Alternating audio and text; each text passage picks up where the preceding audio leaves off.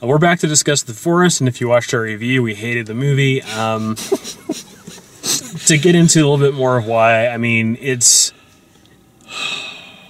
the the first like 15 minutes are they felt like a previously on The Forest. It felt like I'll tell you what it felt like to me. Back about 15 years ago when they would have like really bad opening like let's do a bunch of uh opening scenes for a video game just to make it feel like there's a story. Sure. That's what it felt like to me. Yeah, eh, eh, or and the the other way of uh, of describing it would be if you watch the movie like on Blu-ray, Yeah. and then you you started a featurette, Yeah. and it like quickly took you into like the beginning of the movie, the Uh-huh. beginning of the plot. Yeah. That's what it felt like. Is all these like quick cut like something's wrong. She's out there. I gotta go. Oh, she's in Japan. Well, she's done this before. I'll wait till tomorrow morning. Okay. All right. Let's. And, and like every one of those. The whole script was that way the whole way through though. but but every one of those is a cut to Yeah. another like scene like you know supposedly some amount of time later she goes to japan she they you know they they jump scare at the car they jump scare in the like weird morgue slash grocery store that she goes to. And then she finally finds the guy that's like that ends up taking her into the the forest with the the ranger. Um and yeah like everything that they show you like there's there's never anything that's really okay so there's there's the jump scares that happen before you get into the forest. And then once you're in the forest everything that happens is either a dream or it's actually fake right? It's actually in her head. The things that are supposedly scary, yes. the things that are supposedly scary are all in her head 100% there's no conspiracy. There's no there's there's no outside force that's like going against her in this movie it's just her own head and she accidentally slits her wrists and dies He, and i knew it when she was like cutting the like like trying to pry the Oh, yeah, fingers she off. was gonna like, die, yeah. she's gonna cut her Yeah. it was and- so bad. The thing that killed me was like two scenes previous. She was like, "It's all in my head. It's all in my head. It's all in my head." He, she begs the dude to save her life, and as soon as she's out, she's like, "I can't trust you." right Like right back to it. What in it's- the hell? well and that's part of the deal too of like because part of my argument too would be that like the the death of the parents is spoiled immediately the second that they go through that scene and she doesn't see it but the sister does. But we as the audience see like half of it. Yeah. we also hear the two gunshots. Yeah. like the two shotgun blasts. Clearly it's like shotguns. clearly shotguns. Um, and they're not in their yard. They're in like a, ha- in a room.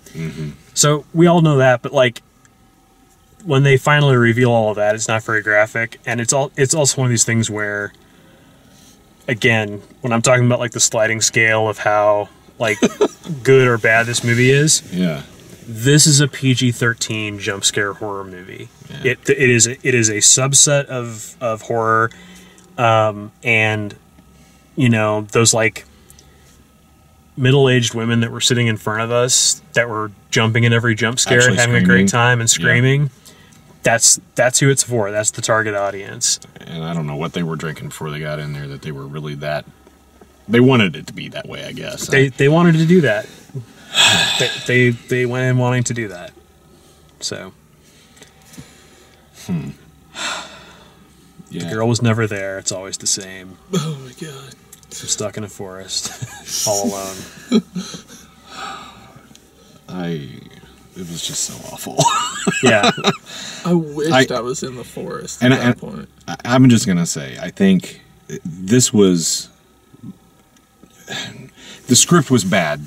Don't get me wrong. It was. Everything that they said in the entire script was so on the nose. exactly. It was not. It was never like done with any sort of mystery whatsoever. The only time they really had any sort of mystery was the part where she's telling one story and they're talking about another story. They had a car accident. No, what we really see is they go down the basement and see the mm-hmm. suicides. I thought that scene was actually That- really well done. That's the only part of the whole movie that might have been worth watching. The rest of it, she couldn't act. I at no one point thought, oh, this is someone who is scared that her sister has died or is going to, she's going to find her sister in an emergency situation. She shows up in Japan and goes window shopping. Mm-hmm. She shows up in Japan and flirts with a guy at a bar. Mm-hmm. At no one point in any of that did I think, even even with the bad script, a good actress might have made you feel like she had something going on in the back of her head. Mm-hmm. And I never felt that.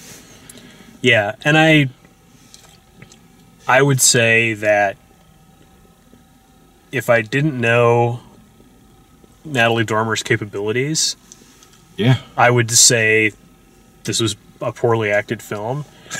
I honestly think it's I, I think most of the blame for this movie rests on the director. I really do.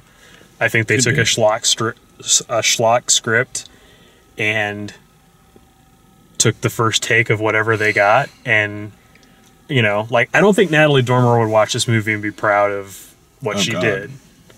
You know. No.